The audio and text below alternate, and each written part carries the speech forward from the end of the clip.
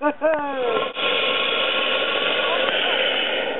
was pretty cool how the eyes popped out at first. Did you see that?